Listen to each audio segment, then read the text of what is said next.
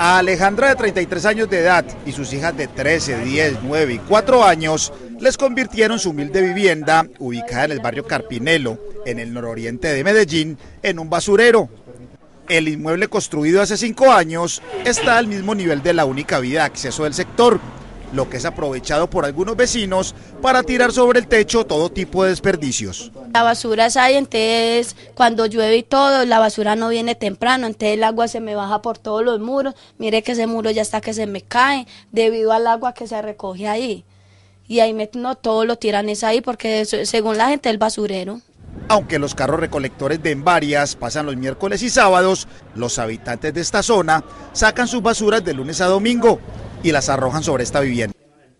Y segundo, los animales, ratas, gusanos, mucha cosa.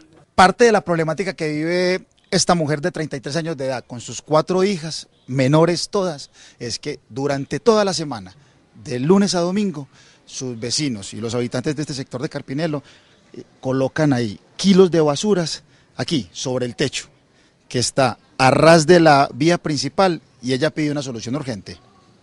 Y lo paradójico, según los afectados, es que las autoridades instalaron un cartel a pocos metros de su casa donde invitan a arrojar los desechos en ese preciso lugar. Muy complicado para la señora. La señora me manifiesta que se le entran babosas, que gusanos, que roedores.